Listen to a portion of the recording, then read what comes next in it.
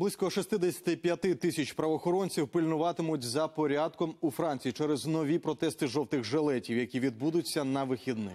З міркувань безпеки у Парижі також закриють Лувр, Ейфелеву вежу та інші туристичні принади. Причиною нової хвилі мітингів стало невдоволення роботою влади у цілому. Нагадаю, люди кілька тижнів протестували через зростання цін на пальне. Після цього влада оголосила мораторій на підвищення тарифів спершу на півроку, а потім на рік.